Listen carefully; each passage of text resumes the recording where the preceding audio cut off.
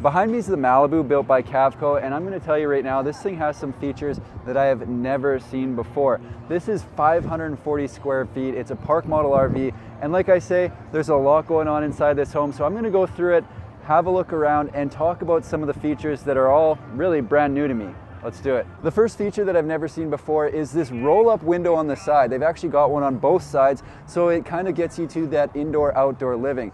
What I like about this is on the side they've got this bar here, which is cool if you're in a holiday type setting and you have a couple friends over. They can belly up to this bar, delete a few beer, away you go. I like it. Aside from some of the added features, another thing I really like about this unit is the look itself. So this section, the covered porch comes done from the factory. Anything that's extended past that wall and on the side is gonna be built on site.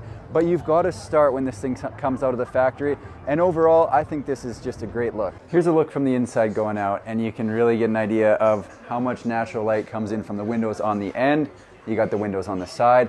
This space is just it's awesome. On top of that, look at how high this ceiling is. This is a great space. At the back of the home, out the bedroom, this right here is an outdoor shower. Another feature that I've never seen coming complete from the factory before, but it does. This rolls out of the factory and it's got an outdoor shower built in. I'm gonna get up in there and do a little B-roll, but there's still people marching through this home, so I wanted to show it from the back.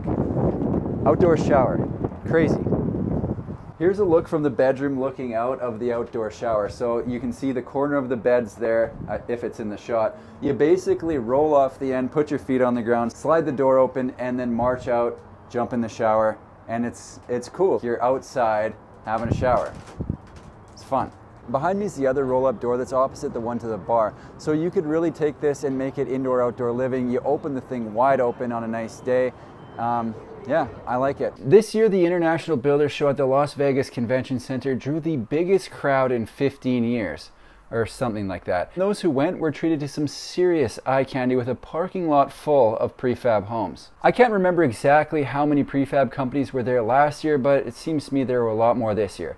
I don't have the stats on that, but that's what I'm going with okay? One of the biggest surprises for me was the Malibu, the model I'm showing here today, and it surprised me for a couple different reasons. Probably the biggest reason of all was the look. I have seen a similar look from a few different companies in the modular space, but I don't think I've ever seen it done quite like this in the park model space. Granted, I don't follow the trends as closely in park models as I do in modulars, but either way, this thing has it going on. The second thing that surprised me about this unit was just how much they'd tricked it out above and beyond what I would consider normal everyday options, as you just saw with the features mentioned. I don't know if it was built specifically for the show or if this is the spec that'll be run by the dealer who had it built, but I do know this. They decked this thing out and it was getting some attention at the show. That much I know for sure. One or two years ago, I did a video on a new park model facility that had been announced in Glendale, Arizona, and turns out that's where this home was built. The home was built by Cavco, and after the show, I believe it was being moved to a park model community that was being built out where it'll be put for sale. I don't know exactly where that community is located, but I'll dig through the pile of business cards I got from the show and see if I can find the guy that I was talking to and if I do, I'll update those details in the description below. If you haven't heard of Cavco, they're one of the big dogs in the offsite construction space with factories located all over the United States. That's probably more than enough chit chat. Let's get back to this park model. The description of the Malibu says this small footprint home features an open air center patio with an outdoor kitchen and main dining area. The main suite is situated toward the back to provide private access to an outdoor shower area. The open air kitchen patio has easy access to the living room thanks to an amazing bifold glass door. This home will also come with smart features that include lighting, window coverings, audio video security, and smart thermostats.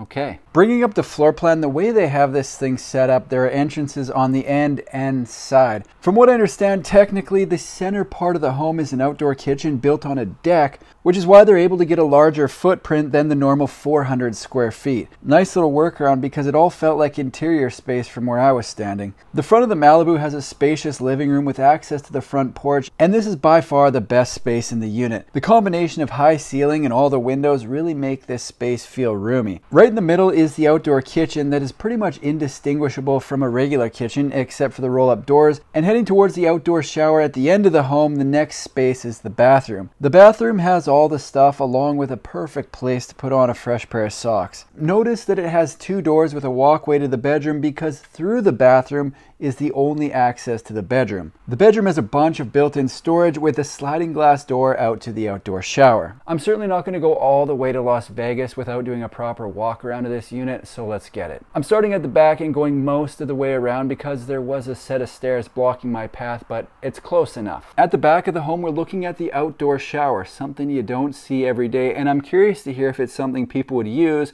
or if it's gonna collect dust. I want to want to think I'd use it, but I can't be sure until I had it. I've never lived anywhere with an outdoor shower, so have no point of reference. The exterior is finished with a white vertical siding and a subtle touch that I think makes this unit pop is the white trim around the windows against the black window frames. This model is optioned up with a metal roof and we get a look at my favorite feature on the home as we circle around the front and head towards the side door. For the record, my favorite feature is those windows on the end. I think it looks awesome. The side door is a motorized roller, so I'm not entirely sure if it's possible to use it as a daily entrance or if it would make more sense to go in the end. For show purposes, people were coming and going through the side door and it worked well because of the width.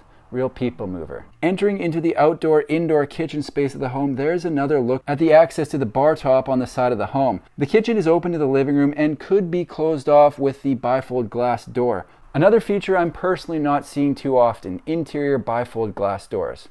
At the end of the living space, another look at the wall of windows with the door out to the deck. The living space was staged with a massive TV, couch, coffee table, and a couple of chairs, and it all fit well and looked great. Turning back and heading toward the other end of the home, it's through the kitchen with a quick peek at a few of the cabinets and another look at the garage door style window before entering into the bathroom. The bathroom has a sink, toilet, and shower on one side with a built in on the other. Did you see that little stool that's sitting there?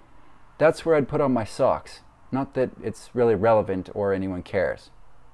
Moving on. The bedroom has even more built-in storage and yes, we got to take another look at the outdoor shower because it isn't something you see every day. Why not? The outdoor shower is a highlight. Going back the other direction, there's another look at the sock station and it continues through the kitchen down towards the living room and let's get another look at this space. I don't think I've mentioned it yet, but how about that chandelier? Perfect space to have a couple friends over for a box social, and if you've got more friends than me, they can spill out onto the deck. It's a unique plan with unique features. Very cool build by Cavco.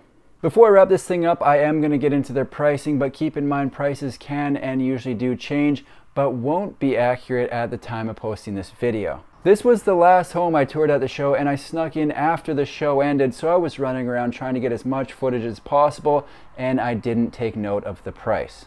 My bad. What can I say? I'm not a big note taker, but I will email the card guy and if I get the price back, I'm going to post it down below in the description. You can look for it there. Final thoughts on the Malibu from Cavco. This thing is absolutely dripping with features. You got the roll-up doors on either side. You've got the outdoor shower at the back. You've got high ceilings. You've got skylights. You've got the covered porch on the front with all of those windows. So they have absolutely decked this thing out. It's, it's really cool to see. It was a surprise at the show that I wasn't expecting. Speaking of which, it's five o'clock on Thursday. The show's over. Bye.